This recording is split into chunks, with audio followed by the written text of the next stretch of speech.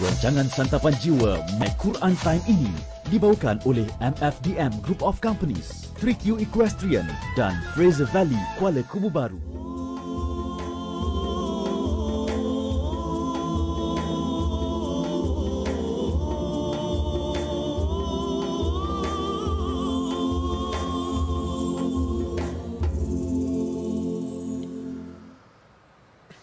أعوذ بالله من الشيطان الرجيم. بسم الله الرحمن الرحيم. الحمد لله رب العالمين. الرحمن الرحيم. مالك يوم الدين. إياك نعبد وإياك نستعين. اهدنا الصراط المستقيم. صراط الذين أنعمت عليهم غير المغضوب عليهم ولا الضالين.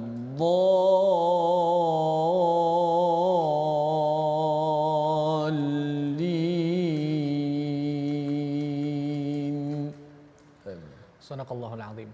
إن الحمد لله نحمده ونستعينه ونستغفره ونعوذ بالله من شرور أنفسنا ومن سيئات أعمالنا. من يهده الله فلا مضل له ومن يضلله فلا هادي له.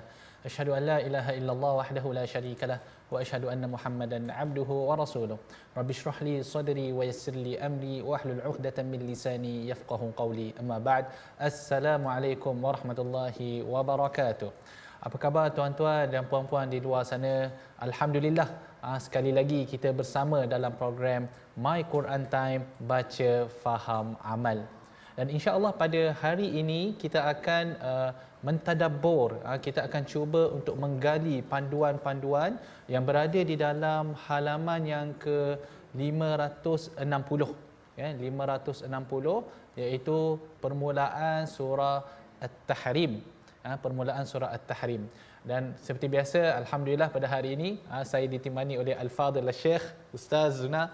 Apa khabar Ustaz? Baik, Alhamdulillah. Sihat ya Ustaz? Betul khabar? Alhamdulillah. Hari ini kita surah baru ya Ustaz? Betul. Surah At-Tahrim. Ya. Uh, Ustaz ada apa-apa pengalaman ke tentang surah At-Tahrim ni sebab kebiasaannya kan yang kalau saya biasa dengar para-para imam ni uh-huh. antara surah yang favorite dibaca surah At-Tahrim. Kalau dululah semasa yeah. saya di belajar di universiti dulu kalau pergi di masjid-masjid biasanya surah At-Tahrim ni menjadi surah favorite. Kalau Ustaz lah macam mana Ustaz? Betul uh, antara surah yang memang uh, juga kerap juga dibaca uh, surah At-Tahrim dalam solat kerana dia ada beberapa uh, uh, part yang yang sangat menarik ya kalau dibaca ya. Ah. Pertama sekali sudah pasti uh, dalam buku surat yang kita akan belajar ini hmm. ada perkataan banyak perkataan uh, yang ditujukan kepada perempuan muslimat, ah. mukminat, qanitat. Ah. Sangat menarik. Bahkan ada yang sangat uh, mengatakan kalau nak cari uh, nak cari perempuan uh, isteri salehah jadilah kriteria yang disebut ah, nanti. boy alhamdulillah. So kriteria ni yang itulah nak kena cari dulu. Nanti doktor menarik menarik menarik. Nanti kita bincangkan bersama insyaallah.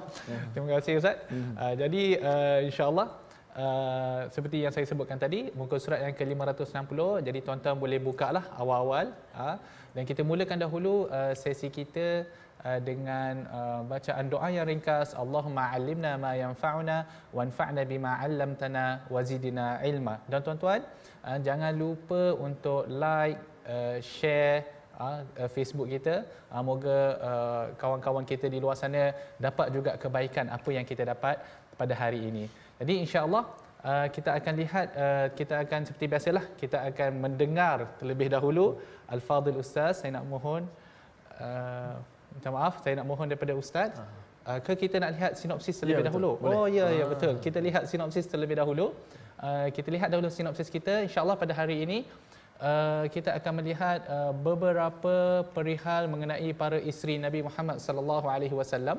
Dan juga kita akan uh, melihat kepada pendidikan agama kepada ahli keluarga dan pembalasan bagi orang kafir. Menarik eh? Betul. Uh, menarik perbincangan insya-Allah pada hari ini tapi sebelum kita pergi dengan lebih mendalam, uh, sebelum kita pergi dengan lebih mendalam, saya nak mohon daripada ustaz dululah untuk membaca ustaz daripada ayat pertama sehinggalah ayat yang ke uh, ayat yang keempat ustaz. Fadhal, silakan ustaz. Alhamdulillah. Terima kasih Fadil Dr. Muhammad Arif Musa. Uh, pencerahan awal tentang surah At-Tahrim sudah pasti penonton uh, akan uh, merasa tertarik dengan surah ini kerana perbincangan yang sangat baik untuk sama-sama kita belajar dan tiru kepada uh, baginda Nabi sallallahu alaihi wasallam dan tergandung dalam Al-Quran Karim kan akhlak baginda ialah Al-Quran. Insya-Allah. Kita baca ayat pertama hingga ayat keempat daripada surah At-Tahrim dengan uh, maqam ataupun lagu uh, jiharkah. أعوذ بالله من الشيطان الرجيم. بسم الله الرحمن الرحيم. يا أيها النبي لم تحرم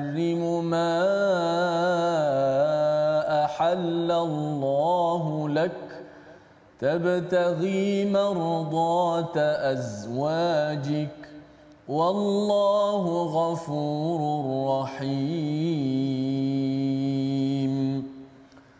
قد فرض الله لكم تحلة أيمانكم والله مولاكم وهو العليم الحكيم. وإذ أسر النبي إلى بعض أزواجه حديثا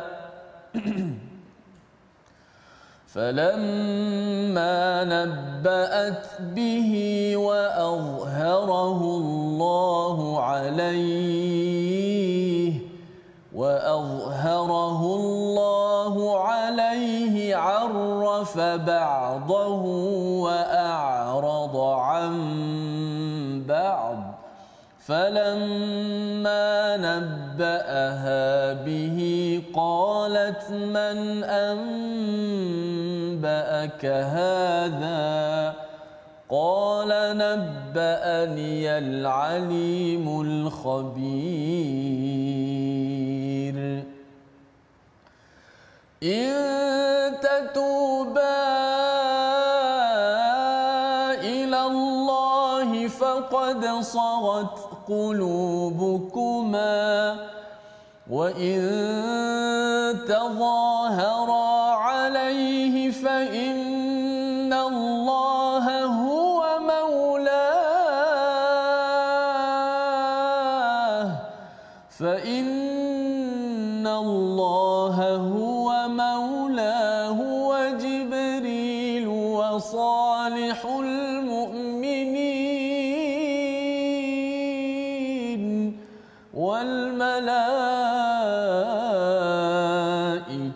بعد ذلك ظهير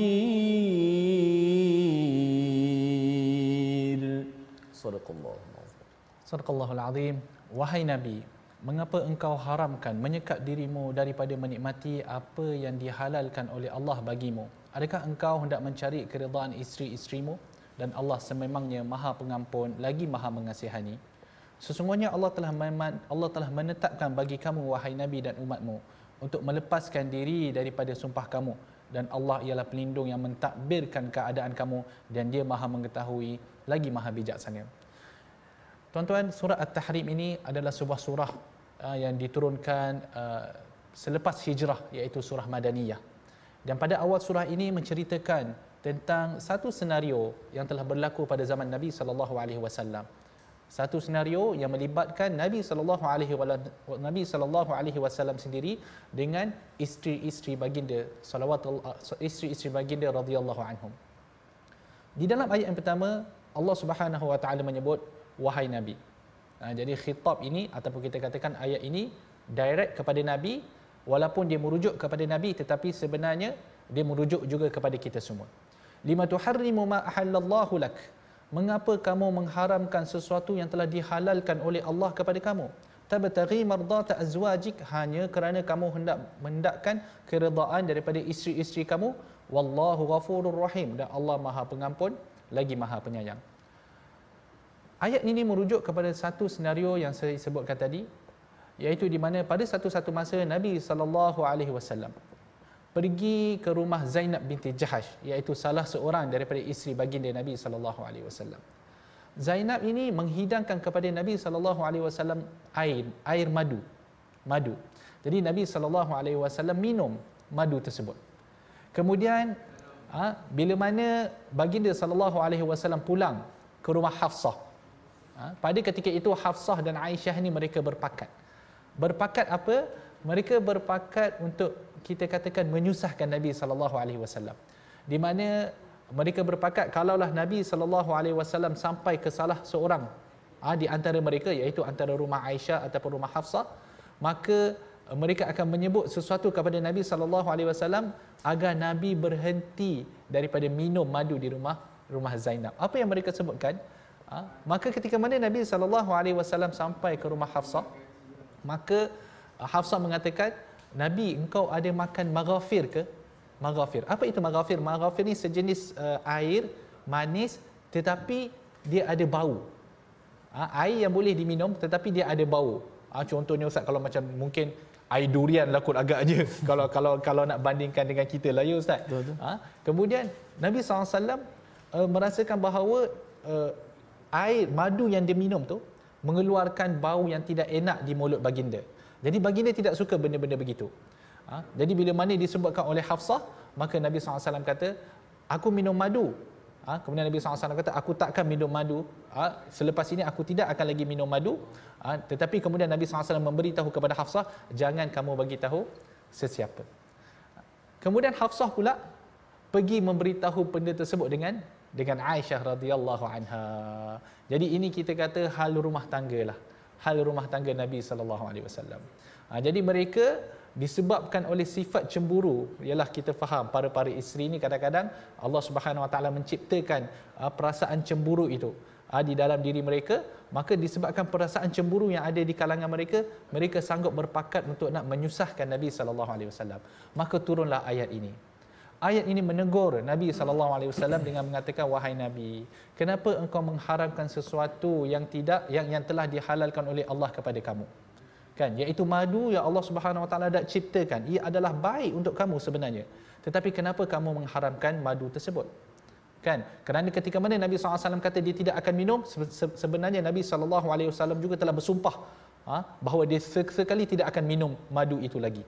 Maka Allah menegur perbuatan ini kan? Seolah-olah Nabi SAW mengharamkan madu tersebut sedangkan ia adalah halal.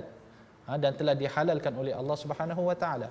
Tabtaghi mardata azwaj kamu buat perkara ini hanya kerana nak mengharapkan keredaan isteri-isteri kamu? Wallahu ghafurur rahim. Ha, maka Allah maha pengampun lagi maha penyayang kemudian Allah menyebut qad faradallahu lakum tahillata aymanikum maka Allah telah mewajibkan kepada kamu agar kamu menebus sumpah kamu itu maka jangan kamu ikut lagi sumpah itu Ha? Memang tadi kamu telah bersumpah untuk tidak lagi minum madu, maka sekarang hendaklah kamu tebus sumpah kamu itu. Wallahu maulakum. Allah adalah pelindung kamu. Wahuwal alimul hakim. Dan Allah maha mengetahui, maha bijaksana. Ya? Jadi kemudian diteruskan.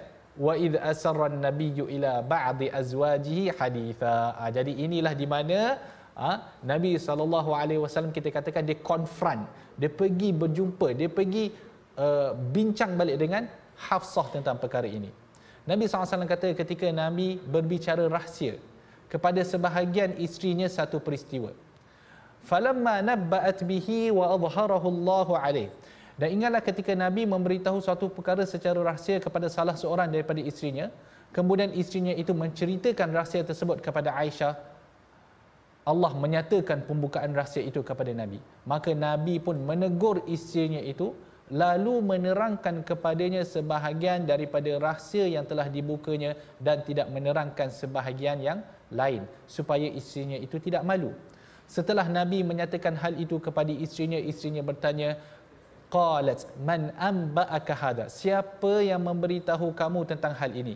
Nabi Nabi menjawab, qala nabba'ani al alimul khabir aku diberitahu oleh Allah yang maha mengetahui lagi amat mendalam pengetahuannya jadi bila mana Allah Subhanahu wa taala memberitahu kepada Nabi SAW apa yang dibuat oleh Hafsah dan Aisyah maka Nabi SAW pergi berjumpa dengan Hafsah dan Nabi SAW menceritakan balik apa sebenarnya yang telah dipersetujui ataupun dibincangkan antara Hafsah dan Aisyah.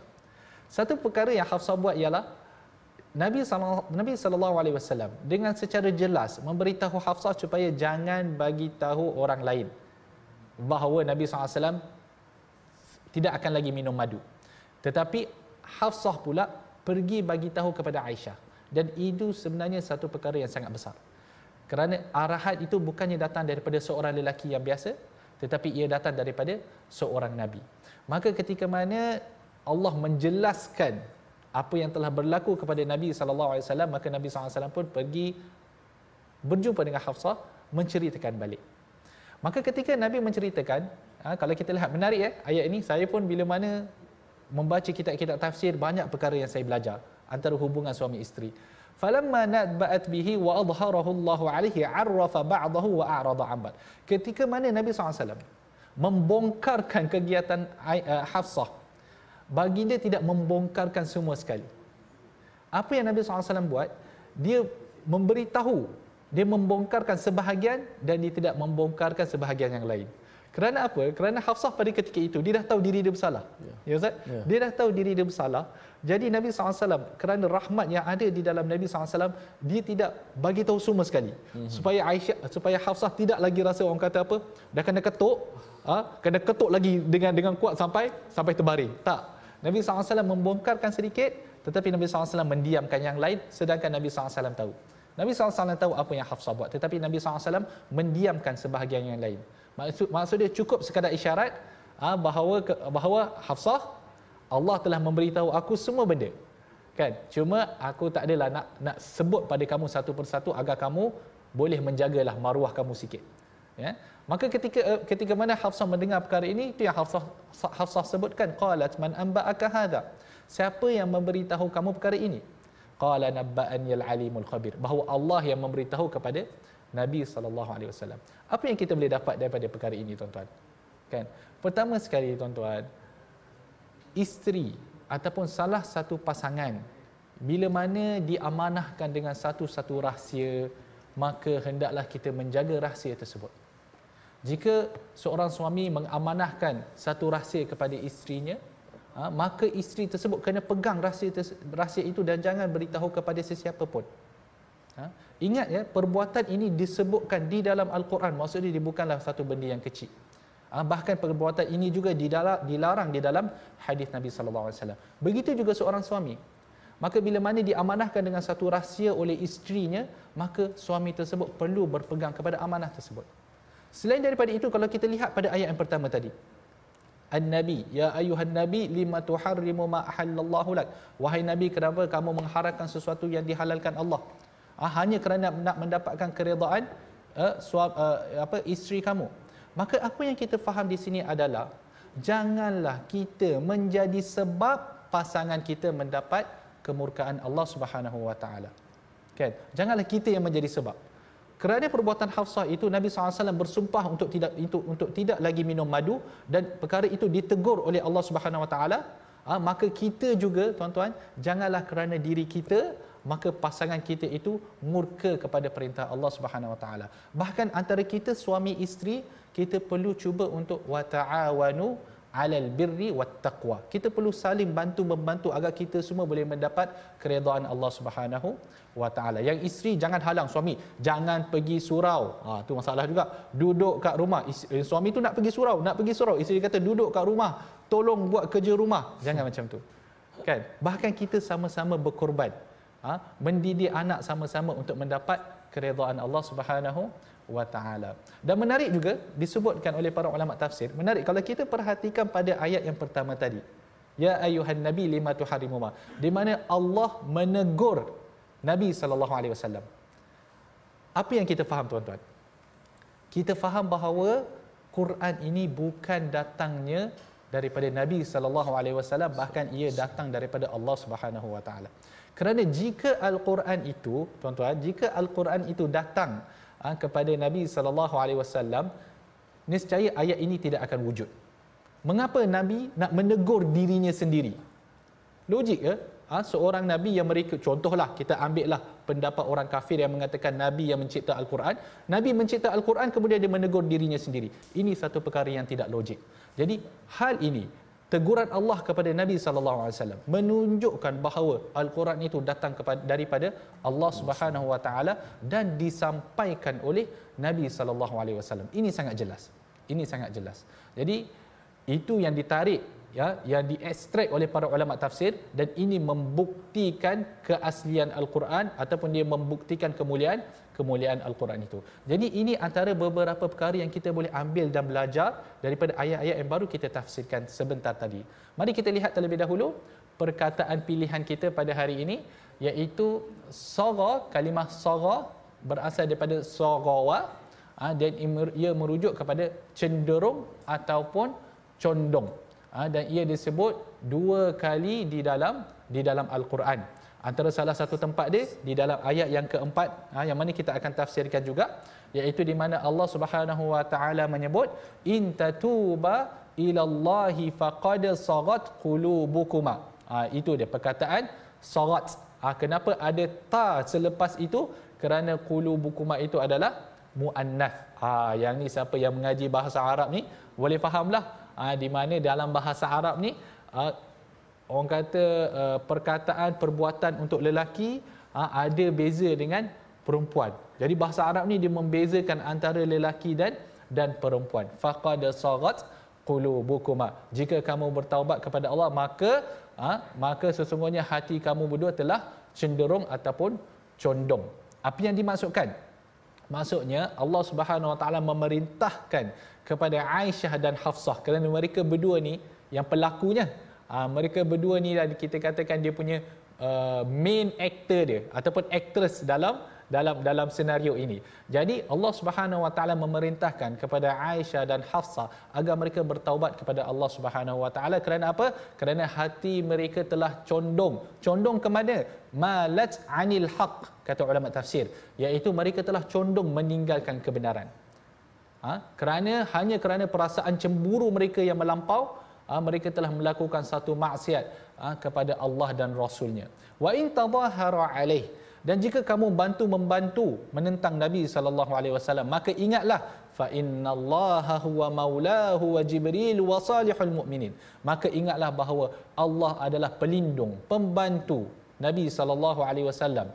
Begitu juga Jibril dan begitu juga orang-orang soleh dari kalangan orang-orang yang yang beriman wal malaikatu ba'da dzalika zahir dan para malaikat setelah itu juga sebagai pembantu kepada Nabi sallallahu sallallahu alaihi wasallam. Dan kita rehat sebentar tuan-tuan sebelum kita pergi dengan lebih jauh. Kita rehat sebentar jangan ke mana-mana. My Quran Time baca faham amal. Insya-Allah.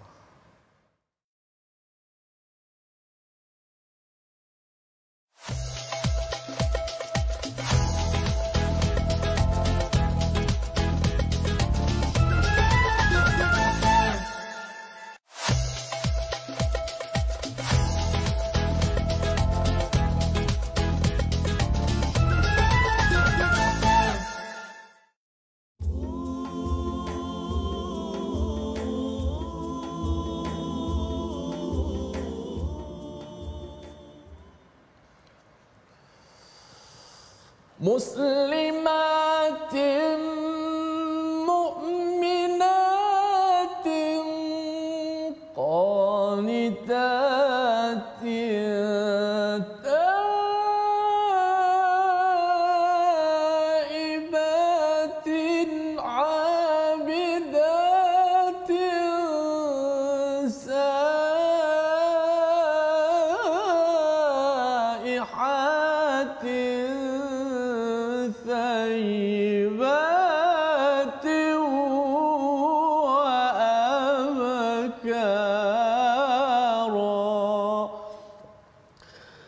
perempuan-perempuan yang menurut perintah yang ikhlas imannya yang taat yang bertaubat yang tetap beribadat yang berpuasa sama ada yang janda ataupun yang gadis perawan. Ah macam mana pula tu? Doktor ada ada yang janda, ada yang uh, apa ni?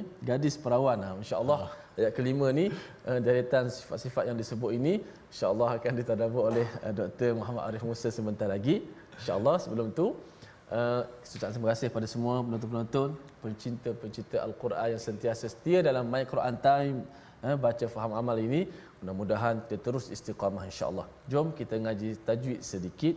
Pada hari ini nak fokus pada ayat yang ke uh, sebahagian daripada perkataan uh, potongan ayat yang ketiga eh, iaitu jelaskan sebutan huruf ain dalam ayat ya, potongan ayat ini. Wa azharahu Allahu alaihi satu ain.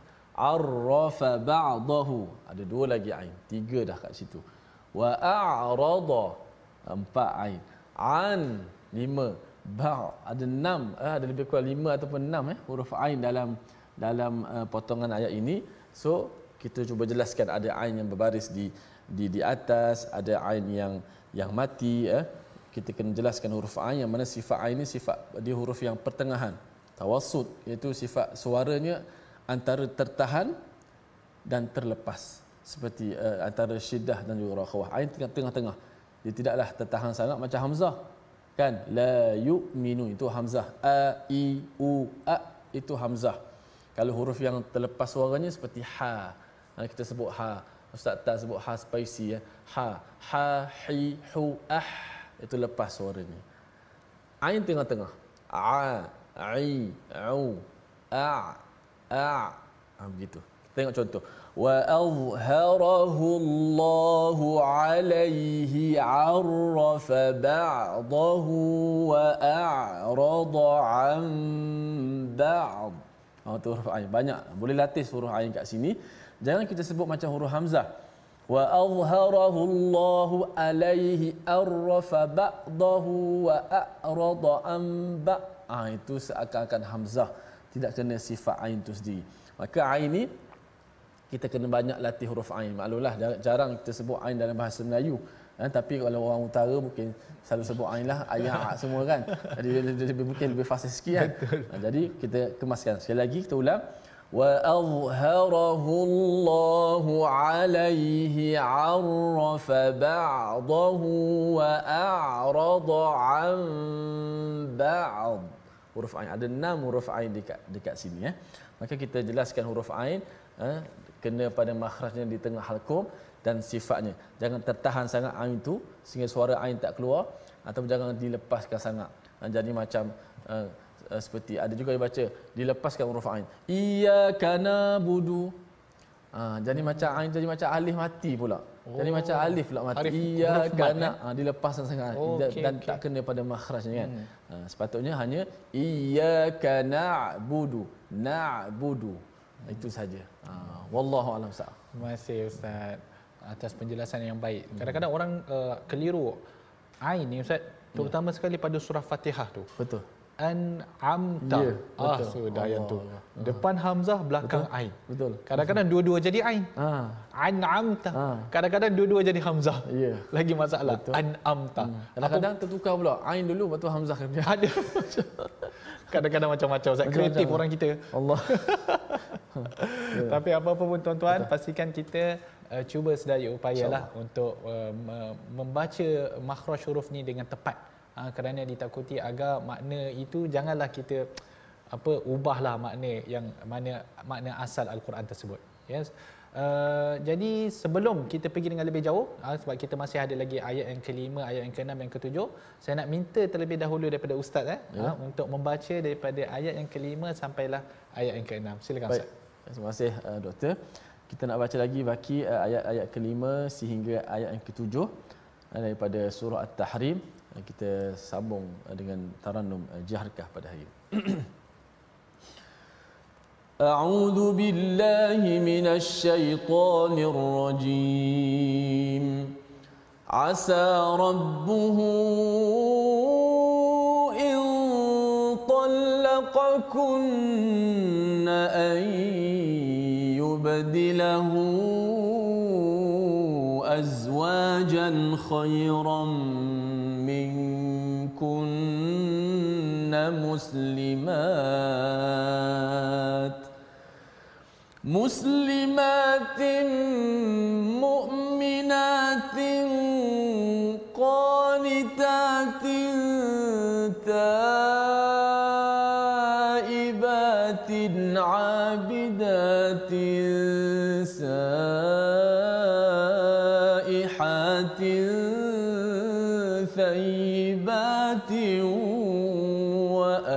وأبكارا يا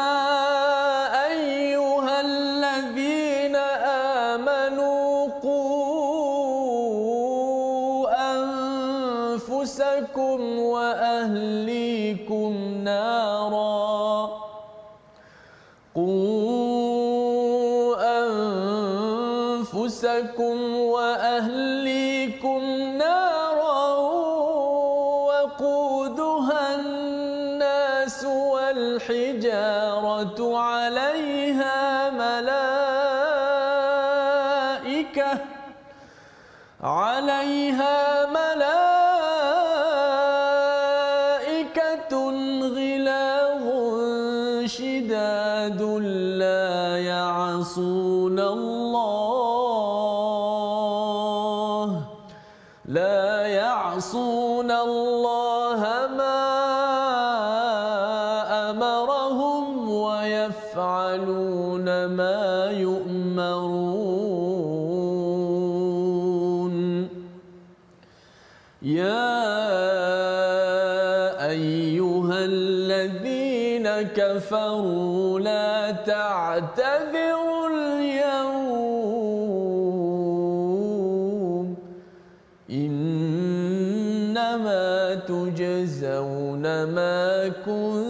كنتم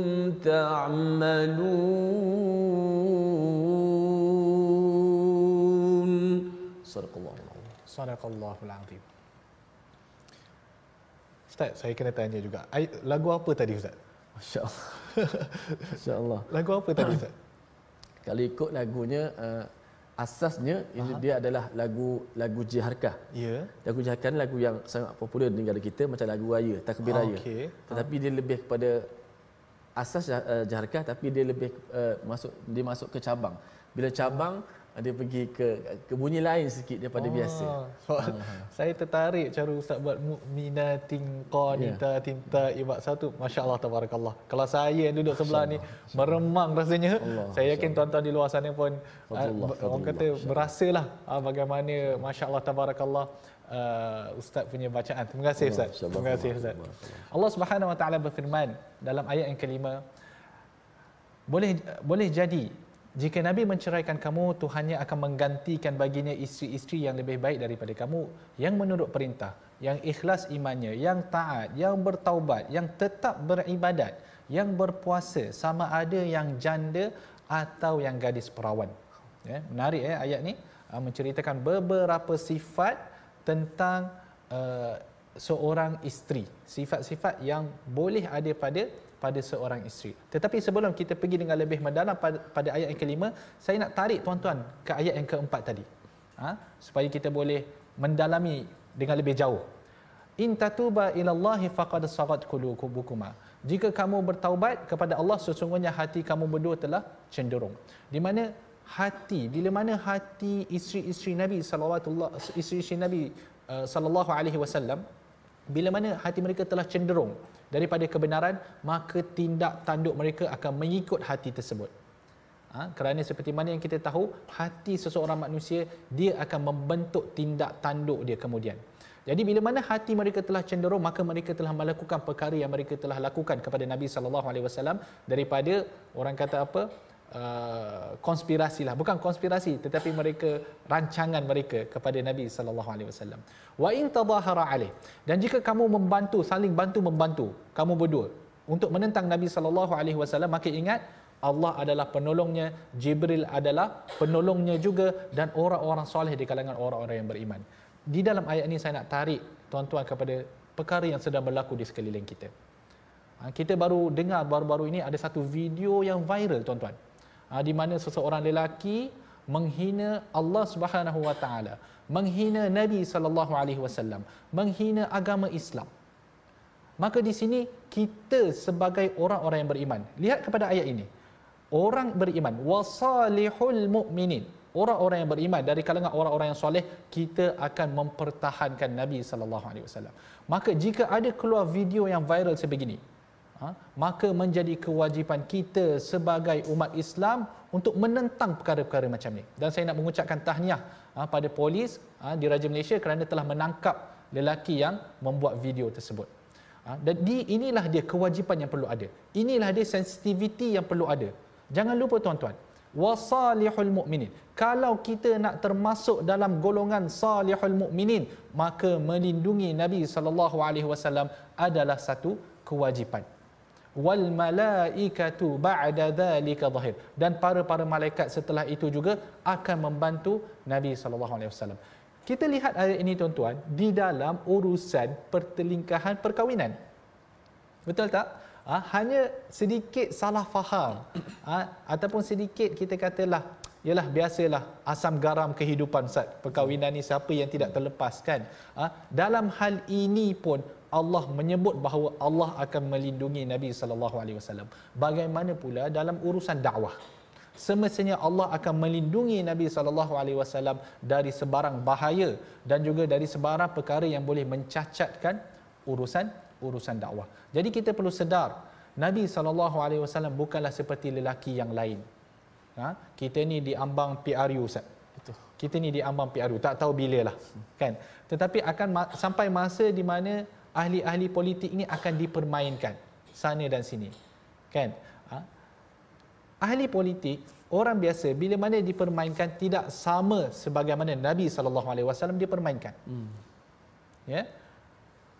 Orang biasa tidak sama dengan Nabi. Kalaulah lelaki biasa dipermainkan oleh isterinya ha, maka itu benda yang kita kata benda yang biasa. Tetapi Nabi SAW adalah lelaki yang berlainan lelaki yang mulia lelaki yang diangkat makamnya di sisi Allah Subhanahu Wa Taala maka nabi patut dimuliakan patut dijunjung dan sesekali tidak dipermainkan oleh mana-mana pihak. Tidak kisahlah yang muslim ataupun yang bukan yang bukan muslim. Ini perkara ini adalah akidah kita yang perlu kita junjung sampai ke sampai ke hujung hayat kita. Asa rabbuhu in talaqakum ayat yang kelima.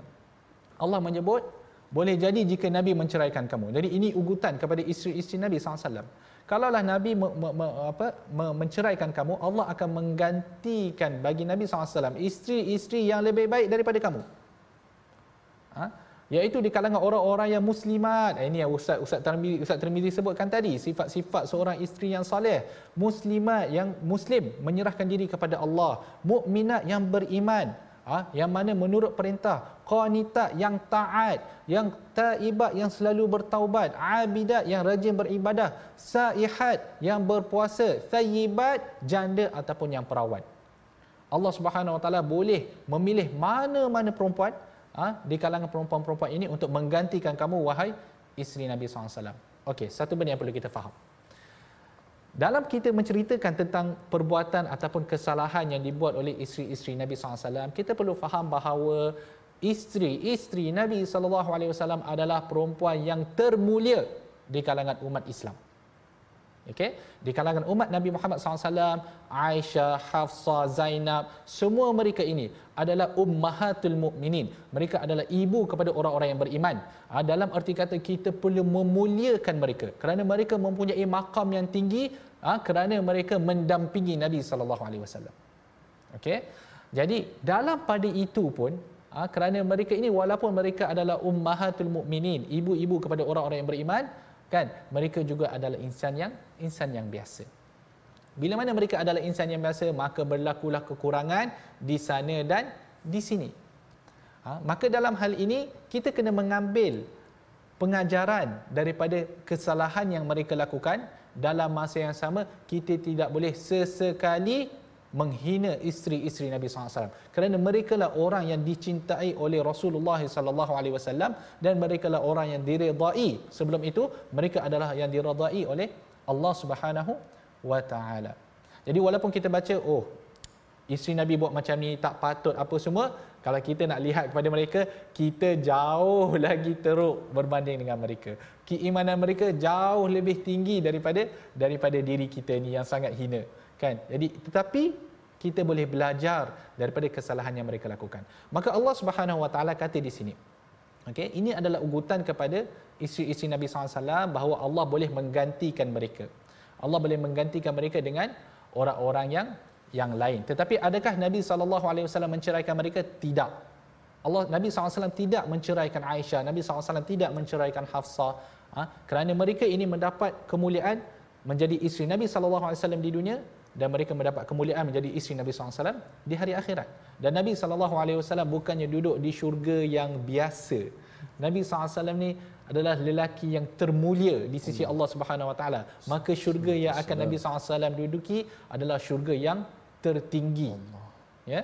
Dan isteri-isteri Nabi SAW kerana mereka bersuamikan Nabi.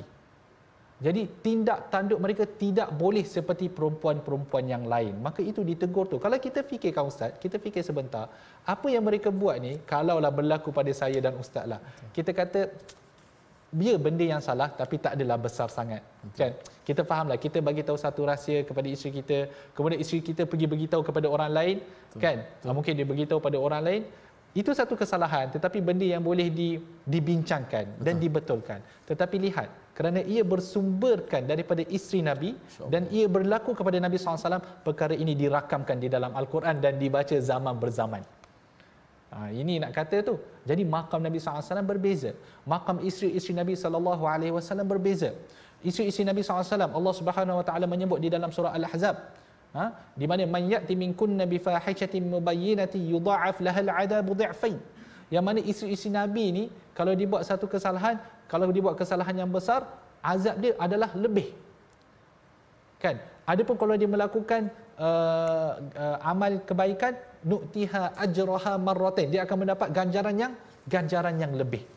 Kerana mereka ini mendampingi Nabi SAW jadi tindak tanduk mereka tidak boleh sama seperti isteri-isteri yang yang lain. Okey? Dan menarik juga tadi seperti mana yang Ustaz Tirmizi sebutkan muslimat mukminat qanitat taibat abidat saihat thayyibat wa abkara. Ini antara sifat-sifat orang kata ciri-ciri isteri solehah lah. Ha, kalau kita dapat kan? Dunia mata wa khairu mata ad-dunya al-mar'atu salihah dunia ini penuh dengan perhiasan. Dan perhiasan yang tercantik adalah seorang isteri yang salihah. Jadi kalaulah tuan-tuan sudah memiliki isteri yang salihah maka bersyukurlah pada Allah Subhanahu Wa Taala. Kerana isteri yang salihah akan membawa memimpin bukan memimpinlah dia akan membawa tangan kita ni ke syurga dan keridhaan Allah Subhanahu Wa Taala. kalau belum lagi memiliki uh, pimpin supaya jadi salihah lah kalau oh. belum memiliki lagi ya pimpin yang sedia ada ah ya lah. kalau kalau kalau isteri yang sedia ada tu belum solehah maka tanggungjawab kita ah itu kita nak sebutkan dalam ayat yang ke-6 tu Ustaz oh. ya ayyuhallazina amanu wahai orang yang beriman ku anfusakum wa ahlikum nara. Jagalah diri kamu dan juga ahli keluarga kamu daripada neraka. Ah itu yang kita kata tadi. Betul. kalau kita tidak ada isteri yang soleha maka menjadi tanggungjawab seorang suami untuk memimpin untuk melindungi dirinya dan daripada diri ahli keluarga dia daripada neraka. Ah kita kena didik dia supaya menjadi isteri yang bukan, soleha bukan bukan mesti tambahlah. Ah Uh, itu kita boleh cerita belakang. Tetapi kita nak katakan bahawa ya betul uh, is, uh, di dalam Islam adalah uh, saranan bagi mereka yang mampu, ada syarat-syarat je untuk menambah isteri lah. Okey. Nar waquduhan nas wal hijara. Ha? daripada api neraka yang mana bahan bakarnya adalah manusia dan batu-batu. Jadi api neraka ni dia tidak diletakkan minyak di bahan bakar dia adalah manusia dan batu-batu. Alaiha malaikatun ghilaf. Di dalam api neraka tersebut ada malaikat yang kasar. Mereka ini, malaikat-malaikat ini disebutkan oleh para ulama tafsir Allah menarikkan daripada diri mereka sifat rahmat. Maksudnya mereka tidak ada sebarang sifat rahmat. Bahkan seperti mana seorang manusia ini disebutkan oleh para ulama tafsir. Sebagaimana seorang manusia suka kepada makan dan minum, para-para malaikat ini mereka suka kepada mengazab ahli-ahli neraka. Maksudnya mereka akan mereka mendapat kepuasan daripada mengazab api, mengazab ahli neraka. Syidad ha, mereka keras. La ya'sunallaha ma amarahum. Mereka tidak akan menderhaki Allah terhadap apa yang Allah perintahkan kepada mereka. Wa yaf'aluna ma yu'marun. Dan mereka akan melakukan apa yang mereka diperintahkan. Kalau azab tu macam tu macam itulah yang mereka akan buat. Walaupun di, diminta belas kasihan oleh ahli neraka sesekali Allah tidak akan memberi belas kasihan. Ya ayyuhalladzina kafaru la ta'tadzirul yawm. Ini akan dikatakan kepada orang kafir pada hari tersebut. Wahai orang-orang yang kafir jangan kamu bagi apa-apa alasan pada hari ini. Innama tujzauna ma kuntum ta'malun sesungguhnya kamu dibalas dengan apa yang telah kamu lakukan. Jadi tuan-tuan alhamdulillah selesai kita muka surat ini. Mari kita lihat kepada resolusi dan tindakan yang kita boleh dapat. Yang pertama adalah kita perlu mendahulukan keredaan Allah atas kehendak manusia. Redha Allah itu perlu dicari sentiasa. Jangan lupa kepada hadis Nabi SAW sesiapa yang mencari redha Allah ha, dengan kemurkaan manusia maka Allah akan bersamanya dan manusia juga akan meredainya ya kemudian yang kedua adalah menjaga rahsia dan aib pasangan dengan amanah yang ketiga bimbing diri serta ahli keluarga dengan nasihat dan didikan syariat yang yang benar jadi alhamdulillah ustaz mari kita berdoa ustaz ha, untuk lebih memberkati apa yang kita telah belajar pada hari ini Bismillahirrahmanirrahim. Alhamdulillah wassalatu wassalamu ala Rasulillah. Ya Allah Tuhan kami ampunkanlah dosa kami ya Allah. Jadikanlah kami suami-suami yang bertakwa ya Allah. Jadikanlah suami kami suami yang sentiasa mendorong isteri dan anak-anak memberi pendidikan agama dan bantulah pasangan kami untuk menjadi salihah ya Allah jadikanlah pasangan kami yang membantu kami untuk bertakwa melakukan ketaatan kepadamu ya Allah ya Allah Tuhan kami peliharakanlah kami dan keluarga kami daripada azab neraka ya Allah Ya Allah peliharakanlah negara peliharakanlah diri kami dan ahli keluarga kami ya Allah daripada kepanasan neraka jahanam ya Allah. Ya Allah bantulah kepada kami ya Allah beri kekuatan kepada kami untuk sentiasa kami patuh kepada perintahmu ya Allah. Amin amin ya rabbal alamin. Walhamdulillahi rabbil alamin. Alhamdulillah terima kasih kepada semua penonton-penonton yang terus setia dalam My Quran Time. Dan jangan lupa uh, kita sentiasa mengajak pada sahabat-sahabat untuk sama-sama menyumbang dalam tabung gerakan Al-Quran. Beri manfaat kepada ummah Al-Quran insya-Allah pastinya. Dan jangan lupa juga untuk saksikan uh, ulangan My Quran Time malam ini dan juga esok pagi terus bersama dengan Al-Quran mudah-mudahan Al-Quran sentiasa bertahta di hati kita semua. Terima kasih semua. My Quran Time baca faham amal. Assalamualaikum